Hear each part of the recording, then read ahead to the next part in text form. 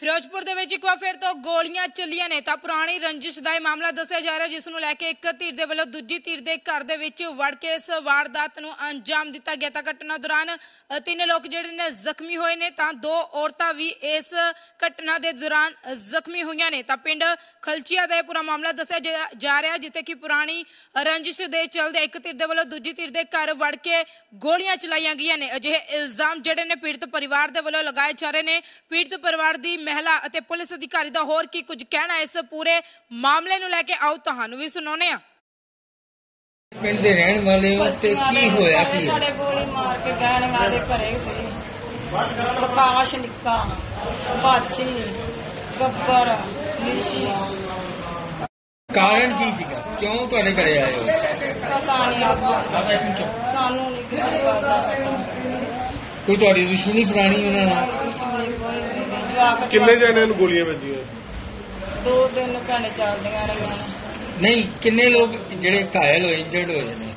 ਕਿੰਨੇ ਜਣਿਆਂ ਦੇ ਗੋਲੀਆਂ ਵੱਜੀਆਂ? ਸਾਡੇ ਤਾਂ ਤਿੰਨ ਜਣਾ ਚਾਰ ਦਿਨ ਹੋਰਾਂ ਦੇ ਵੀ ਵੱਜੀਆਂ ਨੇ? ਹੋਰ ਘਰੇ ਨੇ।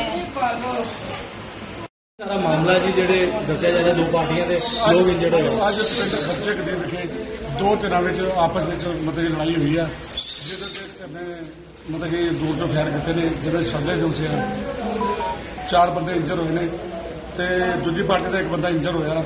ਹਲੇ ਅਸੀਂ ਥਾਣੇ ਇੱਥੇ ਆਏ ਹਾਂ। ਅਸੀਂ ਜੋ ਡਾਕਟਰ ਸਾਹਿਬ ਮੈਨੂੰ ਦੇਣਗੇ, ਅਸੀਂ ਬਿਆਨ ਲਿਖ ਕੇ ਅਗਲੀ ਕਾਰਵਾਈ ਅਮਲ ਲਿਆਵਾਂਗੇ। ਉਹਦੇ ਬਾਰੇ ਤੁਹਾਨੂੰ ਦੱਸ ਦਾਂਗੇ।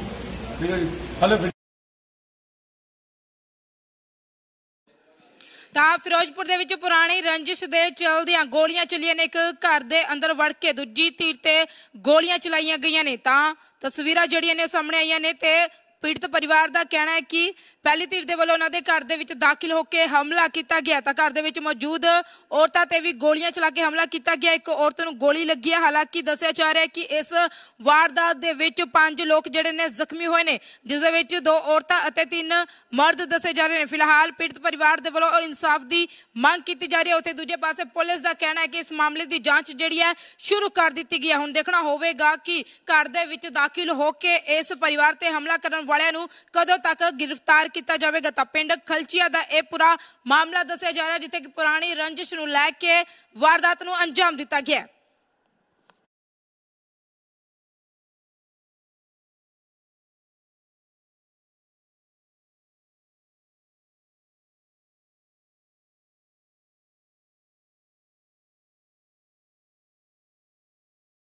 ਫਿਰ ਤੋਂ ਗੋਲੀਆਂ ਚੱਲੀਆਂ ਨੇ, ਤਾਂ ਪੁਰਾਣੀ ਰੰਜਿਸ਼ ਦਾ ਇਹ ਮਾਮਲਾ ਦੱਸਿਆ ਜਾ ਰਿਹਾ, ਜਿਸ ਨੂੰ ਲੈ ਕੇ ਇੱਕ ਧਿਰ ਦੇ ਵੱਲੋਂ ਦੂਜੀ ਧਿਰ ਦੇ ਘਰ ਦੇ ਵਿੱਚ ਵੜ ਕੇ ਇਸ ਵਾਰਦਾਤ ਨੂੰ ਅੰਜਾਮ ਦਿੱਤਾ ਗਿਆ। ਤਾਂ ਘਟਨਾ ਦੌਰਾਨ ਤਿੰਨ ਲੋਕ ਜਿਹੜੇ ਨੇ